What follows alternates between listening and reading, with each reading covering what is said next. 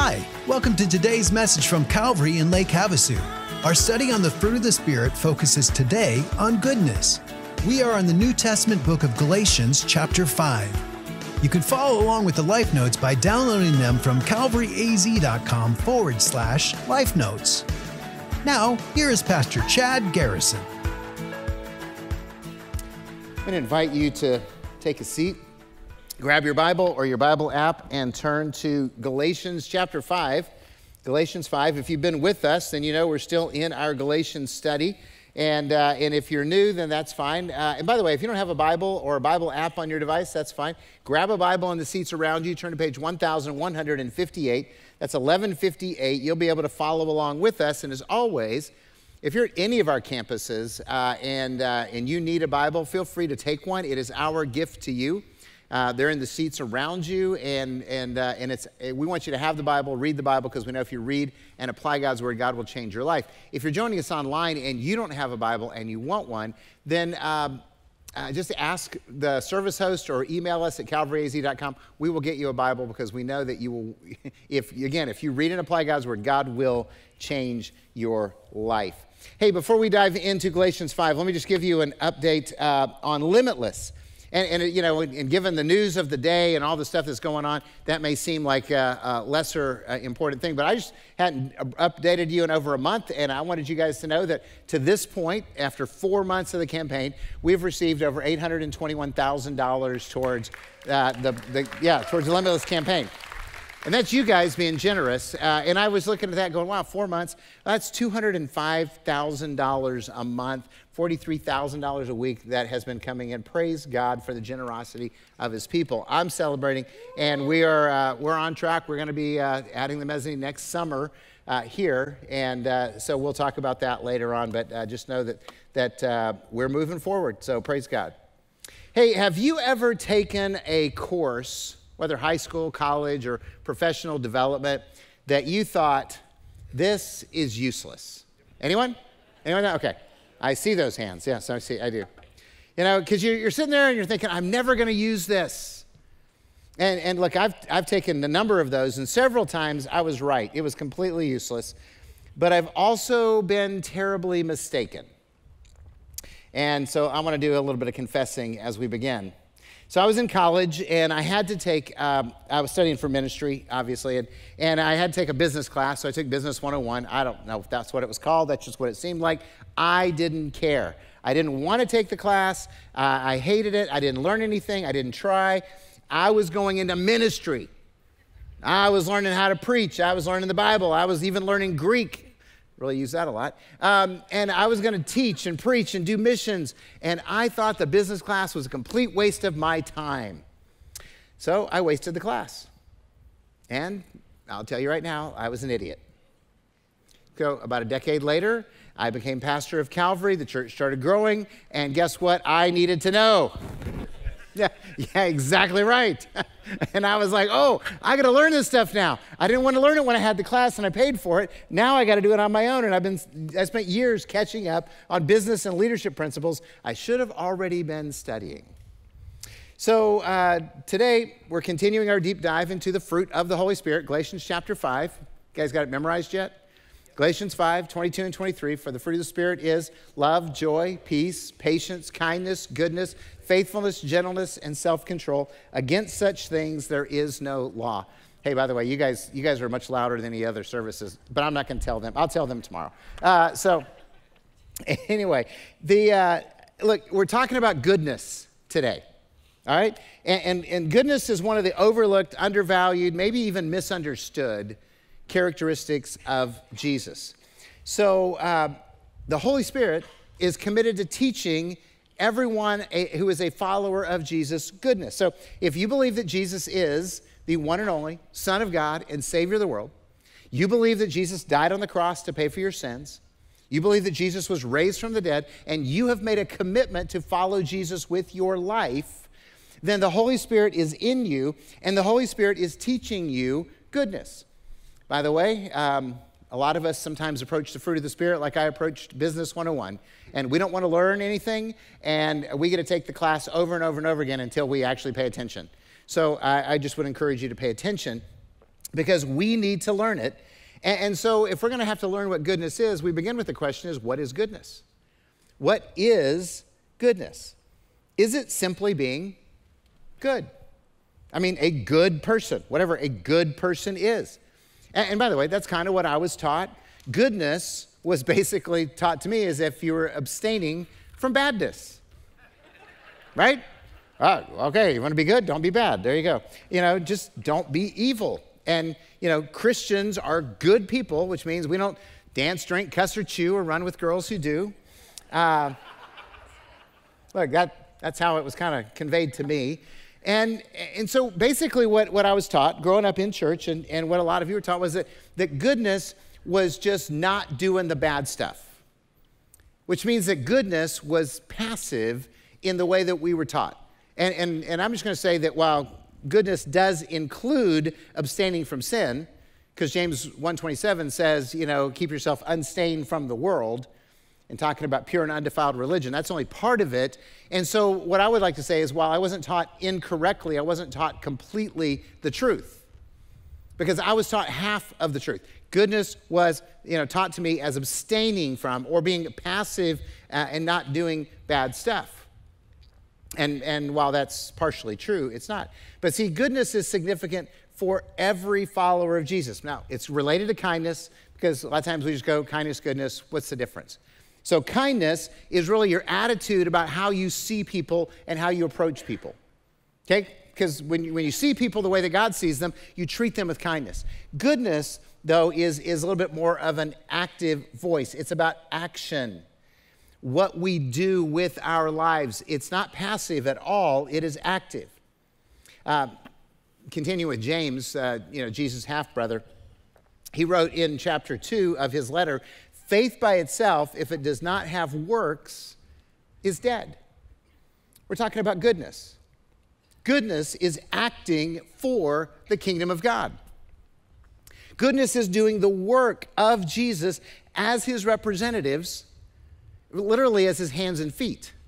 it is receiving the, the responsibility that is ours and, and, and engaging in the actions of Jesus in this world. The Apostle Paul said that you are ambassadors for Christ.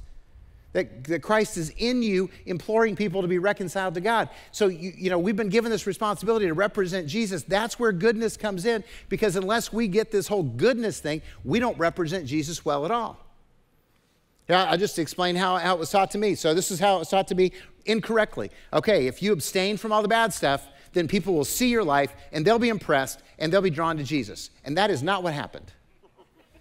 Okay? I abstained from all the bad stuff, and people saw my life and thought, Chad's boring. There were not, none, of my, none of my friends were like, oh, I want to be like that. He's just boring. He doesn't do anything fun. He doesn't do anything crazy. He doesn't do anything wild. And, and so that didn't draw anyone to Jesus because there was no action involved in it. It was passive. But see, we want to be active for Christ, his hands and his feet. By the way, that's why radical service is one of our core values here at Calvary. Followers of Jesus best demonstrate the love of God through acts of kindness and service. It's through what we do that draws people to Jesus. By the way, that's why we serve our communities. That's why we bless our schools. That's why we give generously to people in need. That's why we celebrate our army of volunteers here at Calvary. We are acting for the kingdom of God. So we were not rescued by Jesus to only abstain from the bad because we were created to do good works. We were created to do good works.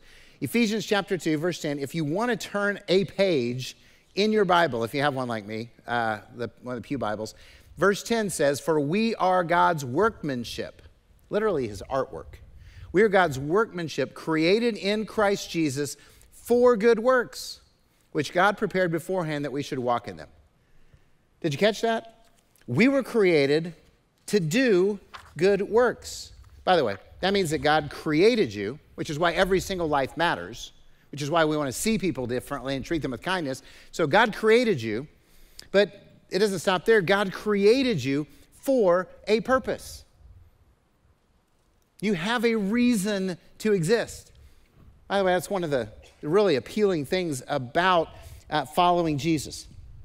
uh, I'm going to rant just for a minute. You know, you know, the whole evolutionary biology thing where it's like, okay, everything happened by an accident and the world just happened to exist and life just happened to form and, and we just happened to be here. We are just a, a you know, a beautiful accident. Which means that it, by default, if you follow the logic, that every single being acts in a way that is, is based on self preservation.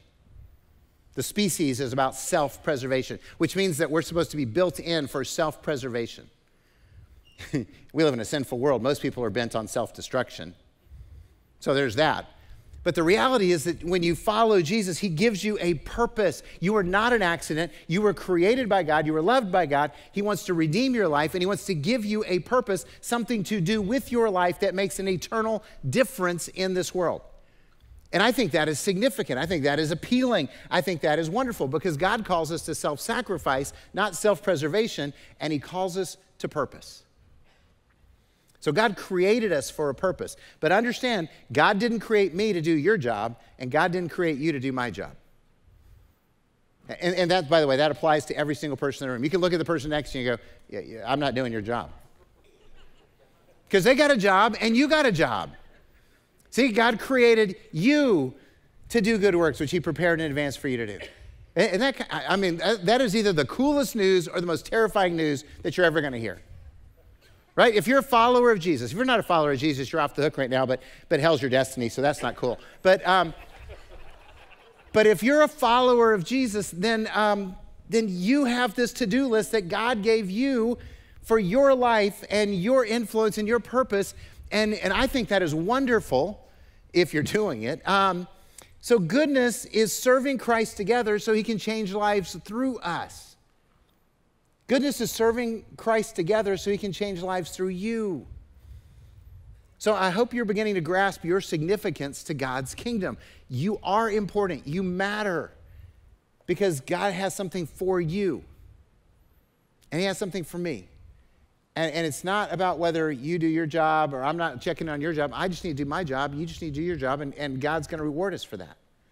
You matter. What you do matters. You were created to do good works. And can I just tell you that goodness is a powerful demonstration of life change? A powerful demonstration of life change. Matthew 5:16. Jesus is talking about us being the light of the world. And he says, In the same way, let your light shine before others so they may see your good works and give glory to your Father who is in heaven. Let your light shine before other people so they can see your good works and glorify your Father in heaven. They glorify your Father in heaven by praising Him like you praise Him. This is about life change. This is about the power of God to change lives through how you live your life differently, which is why the whole passive thing doesn't work because they can't see anything if you're just passive. But if you're actively serving God, if you're actively engaged in you know, being the hands and feet of Jesus, people are going to see that, and it's going to be a life changing um, message that they see. You see, when we engage in doing good works prepared for us by God, people see and they're drawn towards Jesus, and so they see those good deeds and they eventually will glorify God. Again, I'm just going to say this this is why we serve our communities, why it is essential to what we do at Calvary. Okay, if, if you've been here any length of time and you're like, okay, we're moving back into serve season because temperature drops below 1,000 degrees and we get to go back out and do, you know, serve our schools and we get to, you know, teacher appreciation and we get to collect candy for Main Street and we get to go on Main Street and serve. I know you guys are already looking forward to October right now, right? When it, when you know, the lows drop below 90 and the, you know, highs drop below 100 and, and, you know, so we're, eventually. So we're going to get there. But, you know, we, we start serving. That's why we do the backpacks for all the, the needy kids. We did over a 1,000 backpacks last year up and down the Colorado River, California, Mexico, all over the place. That's why we build homes in Baja and wells in Mozambique. And it's why we, you know, build compassion centers in Honduras. Eh, all these things are, we're doing these because we want to demonstrate the life-changing power of Jesus. And, and so what we're hoping is people will who are unchurched see us serving with joy and humility, and, and it's intriguing to them. I mean, if you've been on part of our projects, probably at some point somebody came up and said, Why are you guys doing this? Why, why are you doing this? And, and the answer is because, you know, we love our community and God wants to communicate his love through us to our community. And, and there's been a lot of conversations that have happened as we've been serving our community and doing the different things And hopefully that, that conversation is going to lead to a you know, conversation about Jesus, and hopefully you're going to be able to invite them to come to church with you, and hopefully they're going to make a decision to follow Jesus. And by the way, it's been working for about the last 20 years. As we see person after person experience that life changing relationship with Jesus. And that's why serving is such a big deal as a church and for you and me personally. And so that's why we do all those things that we do. Everything from giving gift cards, providing benevolence, supporting community ministries like Food Bank and Faith and Grace and Pregnancy Care.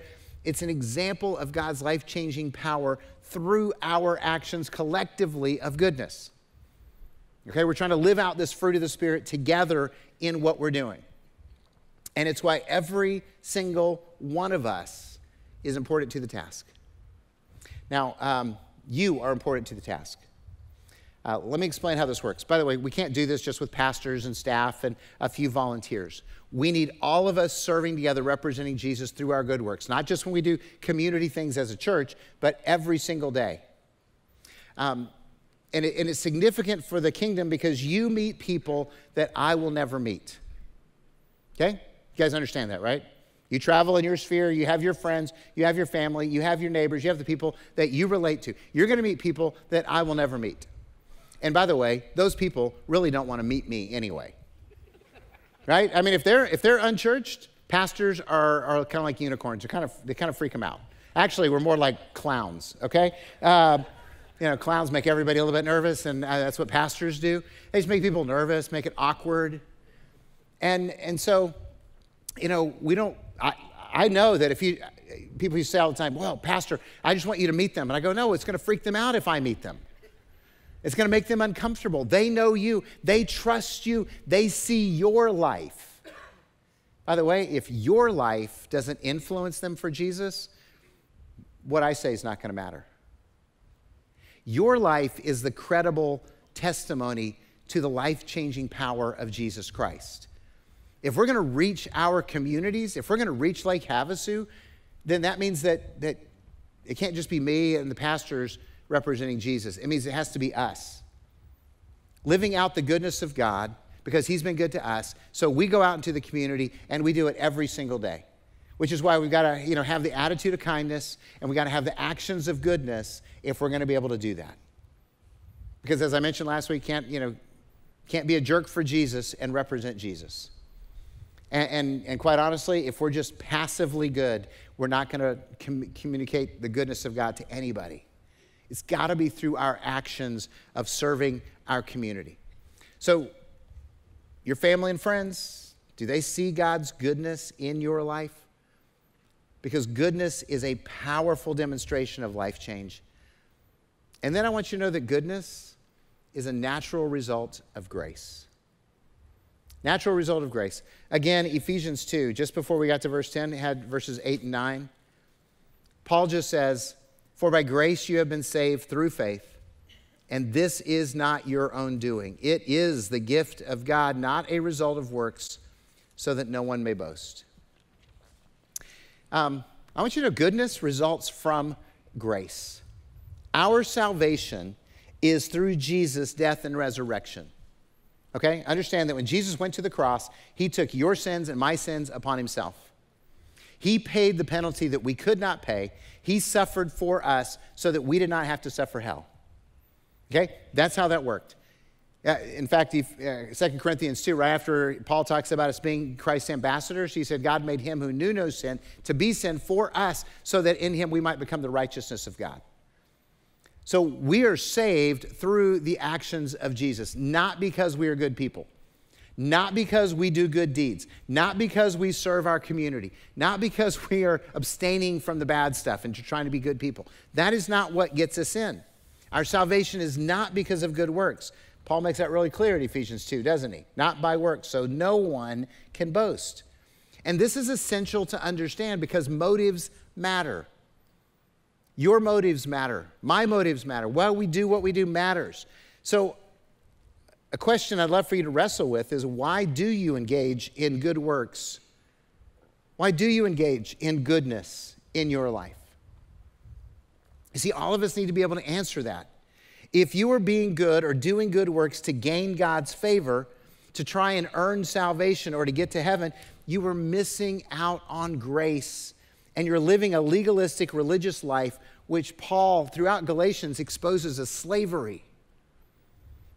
And nobody here wants you to do that. Now, let me be really clear. I know there's some of you that are, that are listening that have not yet decided to make a, a, commitment to follow Jesus. And I would love for you to make that commitment because I want you to know forgiveness of sin. I want you to know eternal life. I want you to know that God loves you. I want you to follow Jesus because he leads to life and to blessing, okay? So if you want to talk about that after the service, we'd love to talk. Our prayer team's going to be here. They will talk with you. Pastors are out there. At least fill out a connect card and say, hey, I want to talk. All right? So, so that's some. But there's some of you that, that you know, hey, you say you're a Jesus follower, but you're still trying to think that, oh, if I do these good things, then God's going to show me favor. You're trying to win God's favor. Can I just tell you, God already loves you completely, and, and He thinks you're wonderful, and He wants to bless you. And, and, and so, he, but you don't get that blessing by, by bartering with God or trying to impress God. We serve God because we are grateful for His salvation. Okay, that, the motive is not, oh, I need to do this so that God will like me. The, the motive is, I, I want to do this because God has blessed me. I want to, to be good. I want to embody goodness because I have been forgiven when, and I get to go to heaven when I deserve hell. That's the motivation. It's like, oh, look at this. God has done all these things for me. I want to bless him. I want to serve him. I want people to know his goodness because he's been good to me. And we just sang it a few minutes ago. You know, all my life he's been faithful. And, and, and all my life he's been so, so good. If that's true in your life, then don't you want everyone else to know it? And, and, and not because you have to tell them, but because you want to tell them. Because no one in this world can earn their salvation. I mean, that's why Romans 6, the Apostle Paul says, the wages of sin is death, but the gift of God is eternal life. So we engage in good works out of our gratitude. We're thankful for the gift of God. So we embrace the tasks that God has for us.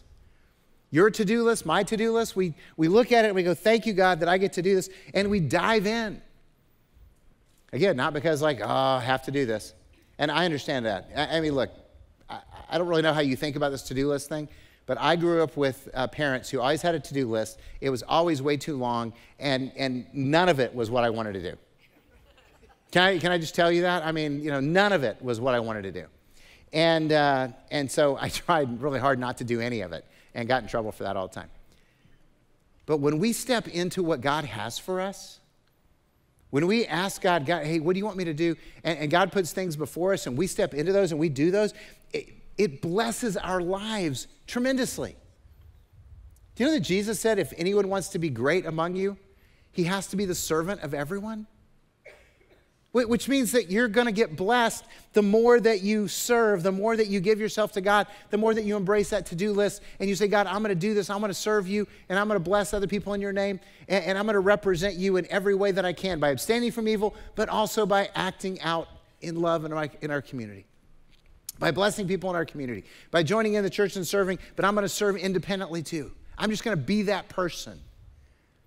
And when we do that, I'm just telling you, God will show up in your life in ways that you never imagined. You're going to experience His peace, His joy, His blessings. All the fruit of the Spirit going to come together as you begin to spend your efforts thinking about others before you think about yourself. Now, I share all that, and my concern is that I can't make everyone understand God's grace and live out goodness just from gratitude. My concern is that, that, that there are some still sitting here that are going, okay, but I've got to do this. I have to do this. And, and, and, and, I, and I would desperately love to sit down with you if you don't understand grace and share with you how God's grace can change your life. I, I, I really want you to know there's no shame, there's no guilt, there's no, you know, you don't have to try and pay for what you've done that God offers you complete forgiveness and healing, and now you can just live free without shame, without guilt, without fear of judgment or retribution or any of that because of God's goodness towards you. And you can live out your goodness towards others. Because I want us all to just simply praise God and serve out of gratitude and joy.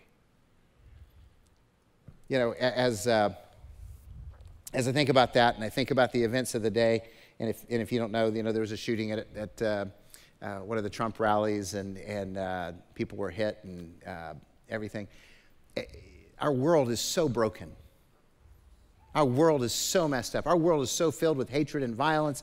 And, and, and, that's, you know, that's just what we see. And we see it up close. There's abuse and there's, and there's uh, anger, and, and people are living such joyless lives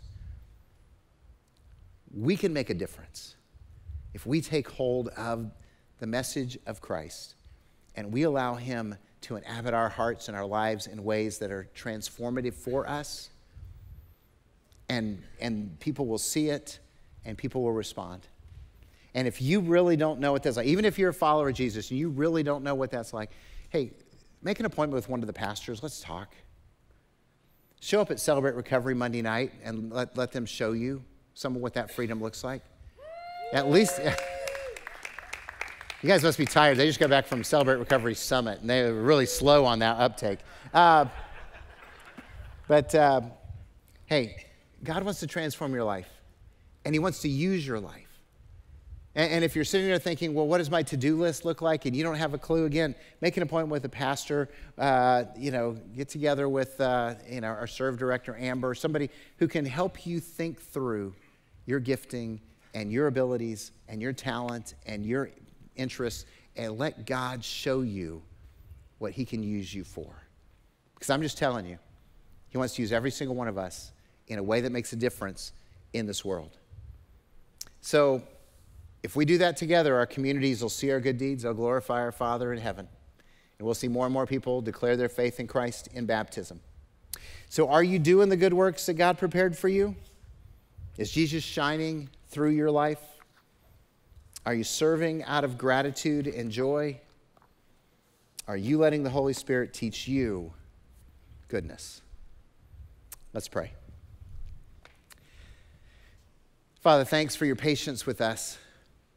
You know, some of us haven't gotten around to our to do list in a while, and we just need to acknowledge that and thank you for grace because. Uh, even if we're lazy children, you still love us and you're still going to save us. But God, we, we don't want to be lazy children. We want to be responsible servants of Jesus Christ. We want to be faithful to you. So, God, uh, just speak to us now. Even as we prepare to move into a time of remembering your death and resurrection that bought our freedom and made us new, God, we want to, to rejoice in that, but we also want to recommit ourselves to you. So, speak to our hearts challenge our thinking, our priorities, so that we can live out your goodness in our lives. In our attitudes, in our words, in our deeds, with our, our actions, God, we want to be your servants. Um, so we uh, invite the Holy Spirit to teach us, to convict us, and to change us. In Jesus' name, amen. Goodness is a powerful demonstration of life change and a natural result of grace. And according to Ephesians chapter 2 verse 10, we were created to do good works. If today's message spoke to you and you'd like to speak to one of our pastors, I invite you to fill out our online Connect card. It's accessible at calvaryaz.com forward slash connect. One of our pastors will reach out to you in the coming days to speak with and pray with you. Well, that's all for today. Please come back next week when we'll be focusing on faithfulness. Bye bye.